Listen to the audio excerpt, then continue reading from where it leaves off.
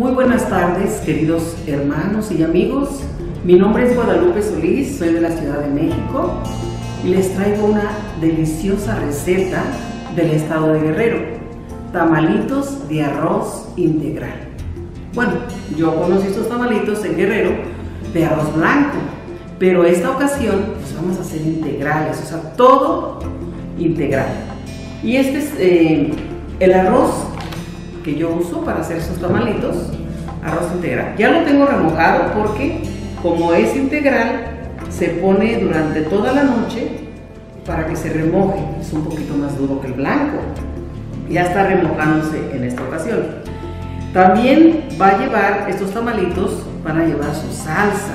Entonces para su salsa tenemos aquí jitomate, pimiento morrón seco, ya lavadito.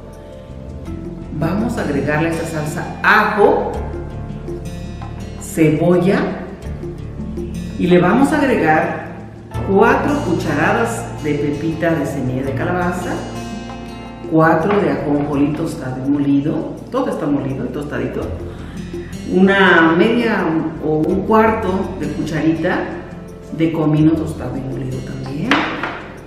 Y nuestros tamalitos también van a llevar pimiento morrón ya preparándolo, ¿verdad?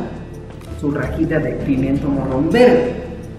Y van a llevar también cuatro cucharadas de este tamaño, que estamos viendo aquí, de aceite de coco.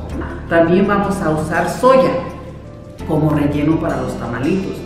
Eh, hay muchos rellenos, por ejemplo, puede ser este, setas, la puede ser gluten de trigo, puede ser queso de soya. Bueno, el relleno es lo de menos. Nosotros lo vamos a elegir, pero esta ocasión va a ser soya. Ya está aquí lista, ¿verdad? Y ahora más la vamos a exprimir y a sazonar. Pero también vamos a usar hojas, hojas de tamal. Estas hojas de tamal también ya las tenemos aquí eh, lavaditas, ya escurriéndose listas, ¿verdad? Para usarlas. Eh, entonces vamos a ir a prepararlo. Una vez que el agua esté hirviendo, van a colocar el arroz, todo el arroz, su cucharada de sal, movemos un poquito, revolvemos y ahora ponemos el aceite de coco. Y seguimos ahí cuatro cucharadas de aceite de coco y empezamos a mover constantemente para que no se nos pegue el arroz, porque se llega a pegar. Así moviendo constantemente hasta que quede esa consistencia. Y está listo nuestro arroz.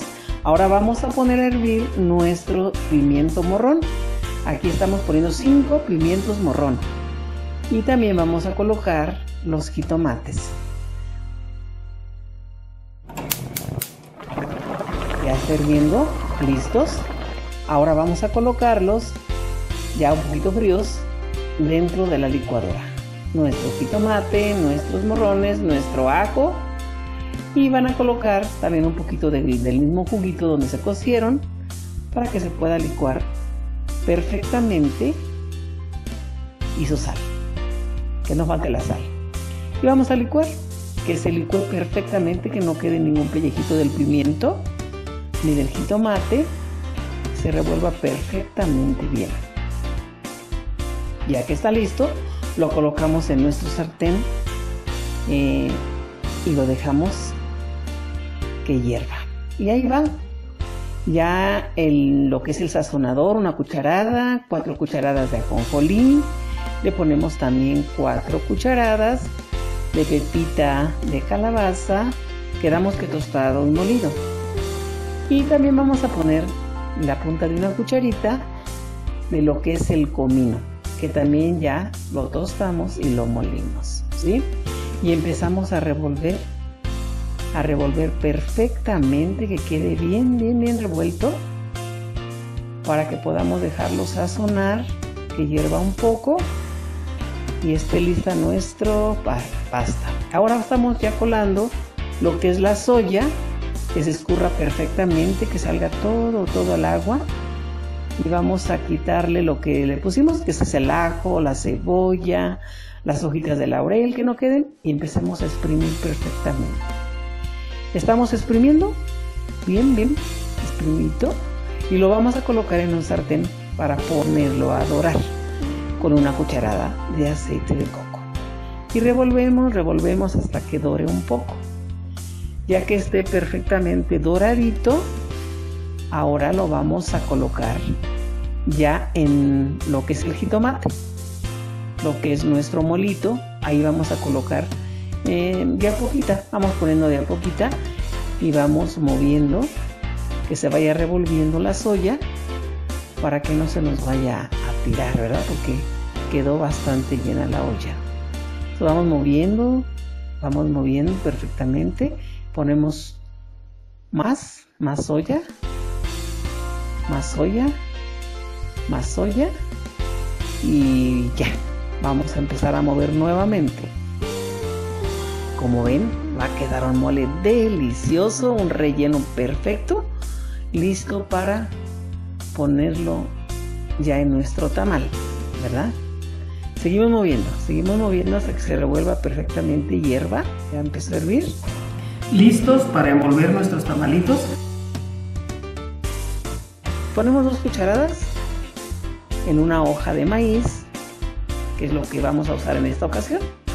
Y vamos a ponerle una cucharada de nuestro relleno, una rajita de pimiento morrón, envolvemos, listo, y nos vamos a apurar porque la vaporera ya se puso al fuego con sus dos litros de agua para poderlos colocar. Así que vamos a hacer nuestros deliciosos y ricos tamalitos. Estos tamalitos los podemos hacer en cuando nos llegue una visita, rinden bastante y son muy, muy sabrosos.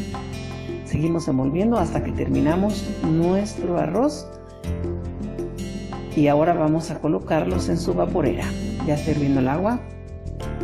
Vamos a acomodarlos perfectamente, haciendo ya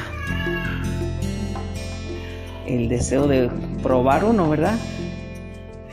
Y empezamos a colocarlos todos para que una vez que estén colocados todos, podamos cubrirlos con las hojitas que sobran y podamos dejarlo una hora completa.